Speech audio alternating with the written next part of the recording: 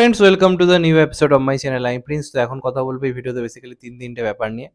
তো একদম প্রথমে যেটা নিয়ে কথা বলব সেটা হচ্ছে একটা গান নিয়ে। গানটার নাম হচ্ছে হুকুম ফ্রম দ্য মুভি জেলার তো আমি কদিন আগে একটা গান এসেছিল, কাবালা ফ্রম দ্য মুভি জেলার যেখানে রজনীকান্তের সোয়াগ নিয়ে আমি কথা বলেছিলাম।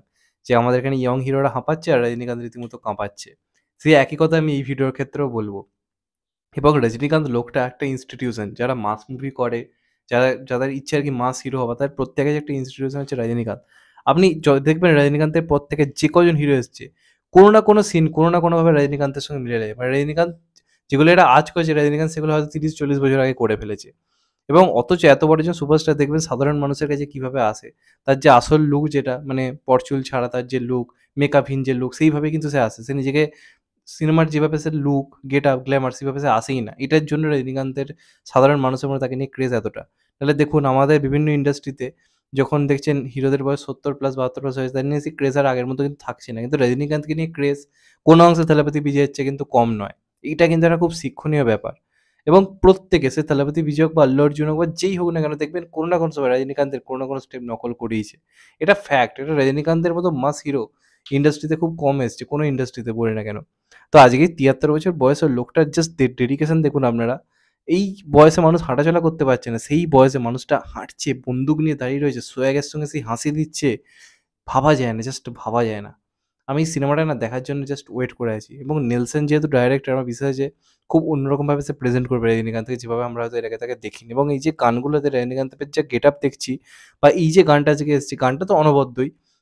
মানে অনিরুদ্ধ মিউজিক দিয়ে যে বিজিএম দিয়ে যে গান তো আলাদা লেভেলেরই হবে এবং এখানে একটা বিজিএম বাজছে ট্রাডাং ট্রাডাং করে, ওটা দারুণ লাগছে এবং গানের প্রত্যেকটা ফ্রেমে রজনীকান্তকে যতক্ষণ দেখানো হয়েছে গুজবাউন্স কাজ করছে। লোকটার গেট আপ দেখে, লোকটার স্টাইল স্টেটমেন্ট দেখে যে এই বয়সে একটা লোক কীভাবে এতটা ফিট থাকতে পারে?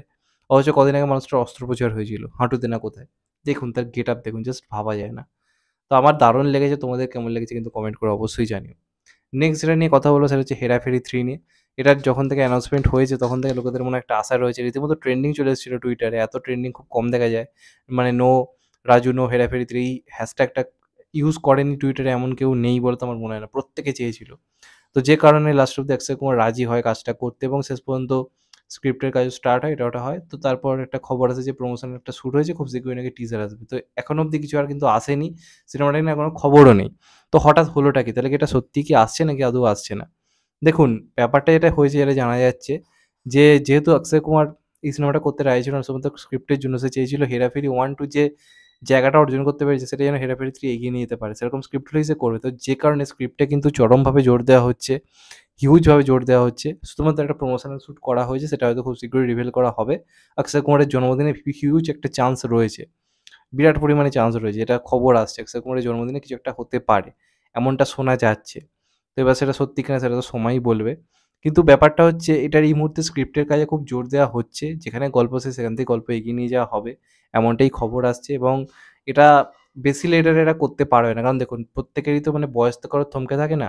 আজকে রাজু বলি বা বাবুরাও বলি বা সাম বলি, এদের প্রত্যেকেরই বয়স মানে ভালো জায়গা থেকে পৌঁছেছে। রাজু ষাটের কাছাকাছি, বাবুরায়ের বয়স প্রায় সত্তরের কাছাকাছি সামের বয়স প্রায় বাষট্টি, তেষট্টি বছর হয়ে গেছে। তো আর বেশি দিন কাজটা ফিরে রাখা যাবে না। তাদেরকে দিয়ে এবার করাতেই হবে। কারণ যত বয়স বাড়বে লুক পাল্টায় থাকবে, আর তাদেরকে মানানসই লাগবে না। তো যেই কারণে কাজটা তো খুব শীঘ্রই হবে। আশা করা যাচ্ছে একটা প্রমোশনাল যে শ্যুটটা হয়েছে, সেটা রিভিল করা হবে। অক্ষয় কুমারের জন্মদিনে মানে টিজার হিসেবে কিছু একটা হাই থিঙ্ক আনা হবে অ্যানাউন্সমেন্ট মতো করে। তো আমি জাস্ট মানে ওয়েট করতে পারছি না এরকম যদি সত্যি হয়, কবে আসে সেটা একটা দেখার ব্যাপার তো থাকবে। তো এটা নিয়ে তোমরা কতটা এক্সাইটেড কমেন্ট করে জানো মানে আসছে টুকে হান্ড্রেড পার্সেন্ট শিওর এটা নিয়ে কোনো হতাশার জায়গায় নেই। এবং ঝড়ের আগে একটু মানে শান্ত পরিবেশ থাকাই ভালো। তো এটা তাই হচ্ছে আর থিঙ্ক মানে আসবে তো হান্ড্রেড পার্সেন্ট শিওর এবং এমন কোনো লোক নেই যারা এটার জন্য ওয়েট করে নেই, প্রত্যেকে। ভোর ছটার শো দিলেও বেশি ওর লোকে দেখতে যাবে এটা, এমনই সিনেমা এটা। তো দেখা যাক কি হয়। লাস্ট যেটা নিয়ে কথা বলব, একটা আপডেট হঠাৎ করে উঠে এসেছে। আনন্দবাজারের তরফ থেকে যেখানে বলা হচ্ছে যে, দেব নাকি উত্তম কুমার অভিনীত নায়ক সিনেমাটাকে রিমেক করতে চলেছে এবং পরিচালনা করবে রামকুমার মুখার্জি, যিনি বিনোদিনীর পরিচালক। এটা ঠিক নাও কি ভুল? তো দেখুন, ওখানে যে আর্টিকেলটা যে সেখানে বলছে, কথাবার্তা চলছে এবং এটা ঠিক রিমেক হবে না। নায়ক সিনেমাটার প্রতি দেবদা একটা শ্রদ্ধার্ঘ্য জানাতেই ওই চরিত্রটাকে নতুনভাবে সে নতুন আঙ্গিকে মডার্ন অ্যাডাপ্টেশন করে ফিরিয়ে আনা হবে এমনটাই বলা হচ্ছে। এবার অনেকে আনন্দবাজারের খবর বলে ধরে নিতেই পারে যেটা ভুল খবরও হতে পারে। ইয়েস অবভিয়াসলি এদের অনেক খবর ভুল গেছে। কিন্তু এটাও মানতে হবে, এদের অনেক খবর কিন্তু ঠিক হয়েছে। এরাই প্রথম বলেছিল যে দেব শ্রীদের কিছু একটা আসতে পারে। তো তারপর দেবদাকে যখন জিজ্ঞাসা করে, দেবদা বলে, না, এরম কিছু হচ্ছে না। কিন্তু তারপর দেখা যায় দেবদাই হঠাৎ করে শ্রীজিৎ মুখার্জির সঙ্গে ছবি ছেড়েছে যে হ্যাঁ এরম কিছু হচ্ছে। তো এইগুলো একটা প্রমোশনাল স্ট্র্যাটেজি থাকে, যেগুলো যেগুলো ভেতরে ভেতরে প্ল্যান হচ্ছে, এদের কাছে খবর আছে সেগুলো পোস্ট করে। সবটা হিরো বা হিরোইন বা যারা পরিচালক সঙ্গে সঙ্গে রিভিল করতে চায় না। কারণ অনেক রকম কথাবার্তা থাকে, অনেক রকম ইকুয়েশন পাল্টাতে থাকে পরিচালক আর অ্যাক্টরের মধ্যে। যদি কারণে সঙ্গে সঙ্গে সব কিছু জানা যায় না, তো হয়তো সত্যি কথাবার্তা চলছে, যে কারণে হয়তো কথাটা উঠে এসছে। এবার যদি এটা হয় আই থিঙ্ক বিরাট একটা ব্যাপার হবে। এমনিতেই দেবদা এখন যা সমস্ত করছে, ফেলুদা বোমকেশ বাঘা যতীন কী নেই দেবদার হাতে এখন? মানে প্রডিউসারের লাইন পড়ে রয়েছে দেবদার সামনে এখন। জাস্ট দেবদার হ্যাঁ করার অপেক্ষা। তো সেখানে দাঁড়িয়ে এই কাজটা নিয়েও নাকি কথাবার্তা চলছে, সন্দীপ রায়ের সঙ্গে কথাবার্তা হয়েছে, এমনটা শোনা যাচ্ছে। তো দেখা যাক, সবটাই সময়ের উপর নির্ভর করছে। কনফার্মলি তো বলে দেওয়ার চাপ রয়েছে, কারণ আগেও আমরা এরকম খবর বলেছি, পরে দেখা গেছে এটা ভুল খবর দিয়েছে। তো দেখা যাক হান্ড্রেড পার্সেন্ট কনফার্ম হয়ে তারপরেই জানাব। একদম মানে সিওরলি বলে দেওয়া যাচ্ছে না, তবে হতেও পারে যে হ্যাঁ এটা হয়তো হচ্ছে। হলে আমি খুশি হব। মানে অনেকে বলতে পারে, উত্তম কুমারের চরিত্র দেবদা কীভাবে সম্ভব? দেখুন, দেবদা নিজের মতো করে করে, দেবদা বোমকেশের ক্ষেত্রেও বলেছে যে, আমি কারোর অভিনয় নকল করিনি, আমি আমারটা করেছি। দেবদা এটার ক্ষেত্রেও তাই করবে, তো চিন্তার কিছু নেই। এবং দেবদা এখন অভিনেতা হিসেবে পুরোপুরি একশো আশি ডিগ্রি নিজেকে পাল্টে ফেলেছে, এটা নিয়ে আশা করি তোমাদের কোনো সন্দেহ নেই। তো এই হচ্ছে বেসিক্যালি ব্যাপার, এগুলোই ছিল আজকের আপডেট তোমাদের এগুলো নিয়ে কী মনে হয় কমেন্ট করে অবশ্যই জানিও। আর যদি চ্যানেলটা নতুন চ্যানেলটাকে সাবস্ক্রাইব করো অ্যান্ড দ্য বেল আইকন এখনও তো ভাই টেক কেয়ার সবাই ভালো থেকো, সুস্থ থেকো, নমস্কার, আবার দেখা হবে। টেক কেয়ার ভালো থেকো সবাই।